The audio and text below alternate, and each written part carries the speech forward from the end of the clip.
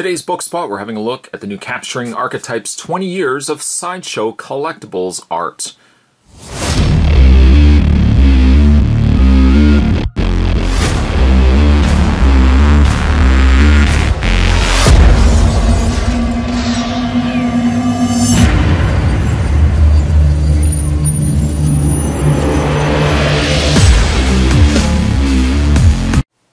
A foreword by Guillermo del Toro and an introduction by Tom Gilliland. Um, this book has, well, this book will be released this month, and uh, Spot was lucky enough to get his hands on it.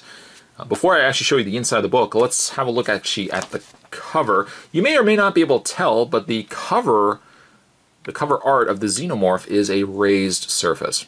It's a raised surface from the rest of this gray book. It's a beautiful piece and only hinting at what you're going to be seeing on the inside of this book. I mean, Spot's kind of already gone through this book a couple of times now, and the pieces, the, the images that they put in it are absolutely gorgeous.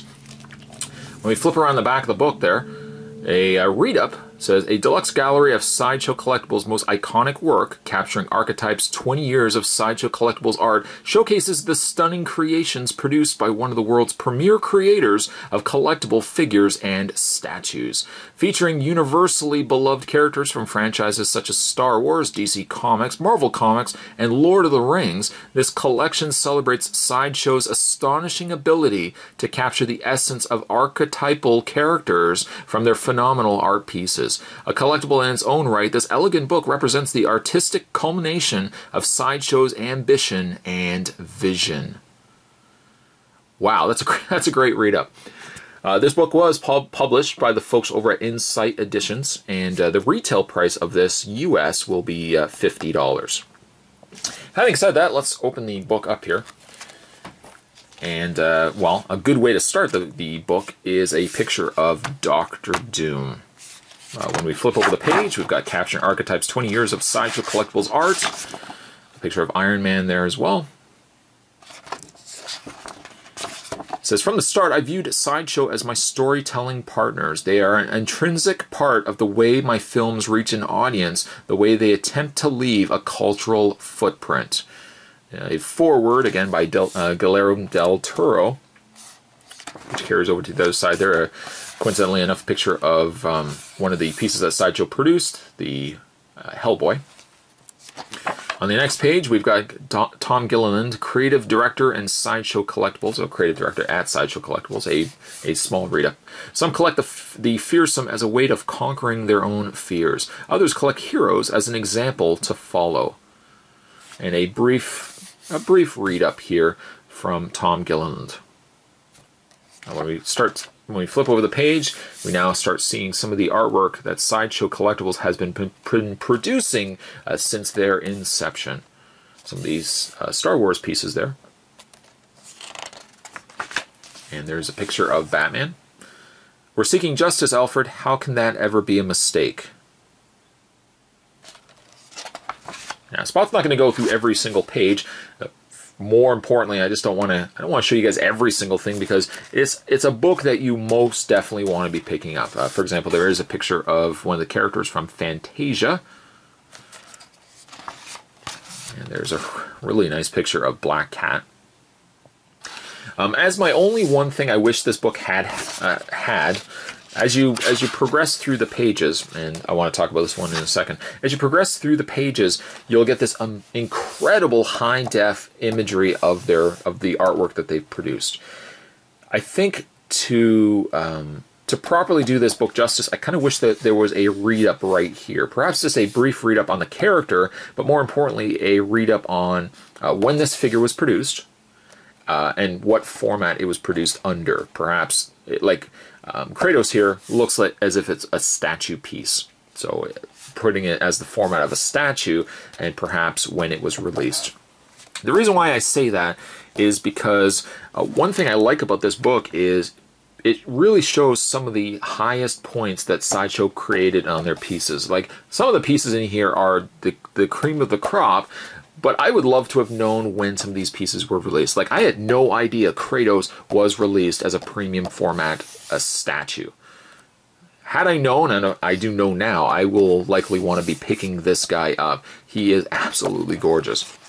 Um, there's a picture of Gambit and Rogue.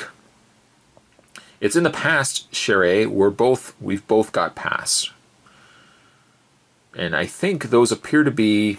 I want. I think they're actually both statute format uh, uh, pieces. Some imagery from some of the Star Wars pieces they produced. It's a great picture of Catwoman.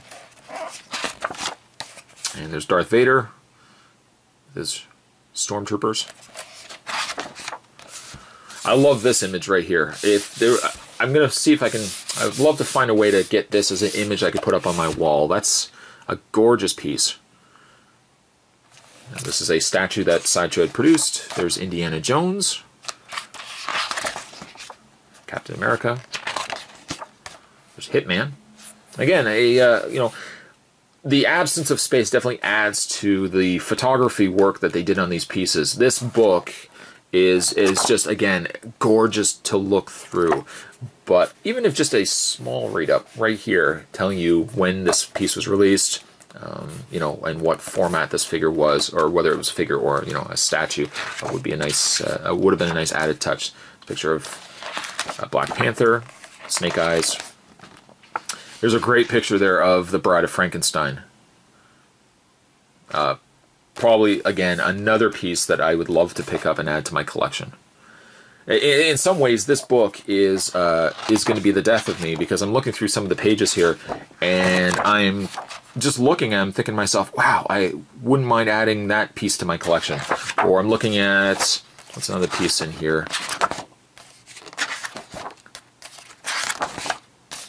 like the Scarlet Witch and Vision. Again, uh, beautiful pieces. Loving. This is probably one of my favorite images in the book, the Red Skull. Looking at this, it's like, you know what, I if I can find the means to try to pick up something like this, I definitely want to uh, get like Red Skull. But it's it, it's remarkable. I had no idea the level, the number of pieces that Sideshow had produced. The beauty of something like this book is, again, it covers every uh, every medium, really every every different property that they handled. You know, you have Lord of the Rings on one end, Vlad the Impaler on another. So again, it's just a it's a great contrast to be flipping each page, and you got you know Vlad the Impaler, the Ring Wraith, and then you've got the cast of the X Men. Um, again, Spot won't go through every single page. There's um, the Baroness that Spot's already reviewed. I'm not going to go through every single page, but I just want to give you guys a good idea of what you're going to be getting in this book. Um, this Wolverine probably is also my, my favorite piece from this book.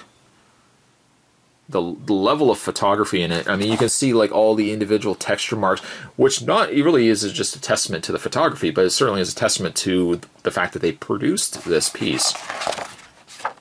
And I love this piece as well, the darkness. What is light without dark?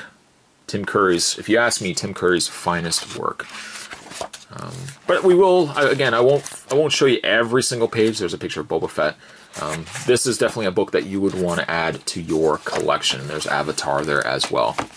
Um, Spot had absolutely no idea the level, the number of pieces that Sideshow Collectibles has produced. This book is really a love to the fans.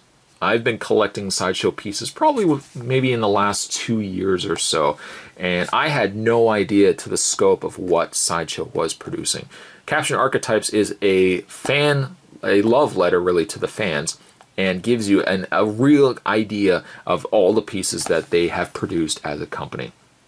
The only thing, again, I wish was there would be some sort of read up on the inside, but some of the finest photography I've seen on, on art pieces are in this book here.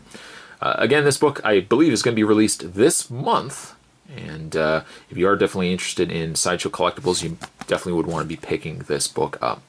Today's book spot, we're having a look at Capturing Archetypes 20 Years of Sideshow Collectibles Art. Stay tuned, guys. Spot's going to have more videos heading your way. Thanks for watching, as you always do. I'll see you guys next time.